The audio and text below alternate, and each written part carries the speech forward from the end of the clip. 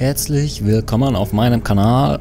Ich habe mal wieder ein bisschen Dampf abzulassen. Und zwar habe ich bei mehreren Fahrschulen angerufen, weil ich mich jetzt wirklich für mein Lappen anmelden wollte. Ja, also B196 wollte ich mich anmelden. Es ist jetzt auch wärmer und so, ne, und dann kann man das halt auch machen. Aber, jetzt kommt das große Aber.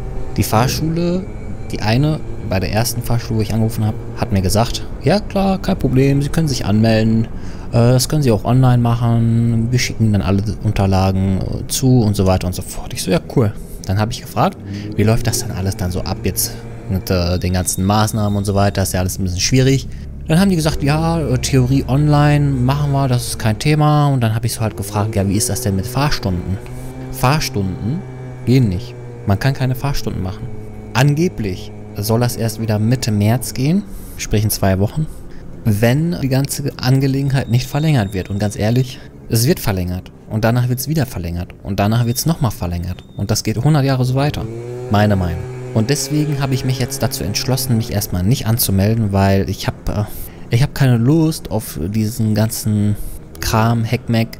Das muss nicht sein, weil ich glaube, das ist auch so, wenn man sich anmeldet, dann hat man auch nicht ewig Zeit, um die Prüfung zu machen. Ich glaube, ein Jahr, auf ein Jahr ist das begrenzt. Tut mir leid, ich habe mich da jetzt nicht schlau gemacht, aber ich glaube, nach der Anmeldung hat man ein Jahr Zeit oder nach der P Theorieprüfung hat man ein Jahr Zeit. Ich weiß es nicht genau. Auf jeden Fall möchte ich da jetzt auch kein Risiko eingehen, weil ich möchte nicht 100 Jahre damit rumeiern und absitzen. Ich möchte das zack, zack, zack am besten in einem Monat maximal abschließen.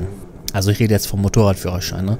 Ähm, es ist, ist, halt extrem nervig. Ne? Weil gerade bei Motorrad oder bei B196 habe ich mir jetzt gedacht, ja, das dürfte ja eigentlich kein Problem sein. Man hat ja überhaupt gar keinen Kontakt. Man sitzt auf dem Roller oder auf dem Motorrad und nicht im Auto zu zweit.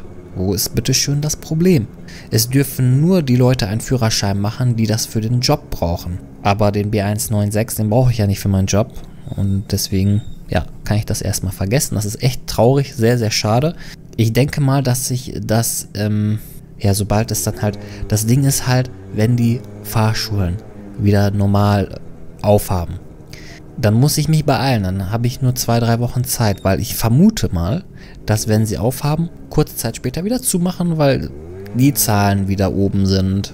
Also ich warte jetzt ab, bis die aufmachen. Da melde ich mich an und dann sage ich, ich möchte so schnell wie möglich fertig werden, weil es kann jederzeit sein, dass wieder alles dicht gemacht wird. Ich würde das schon gerne dieses Jahr noch machen, ganz ehrlich gesagt.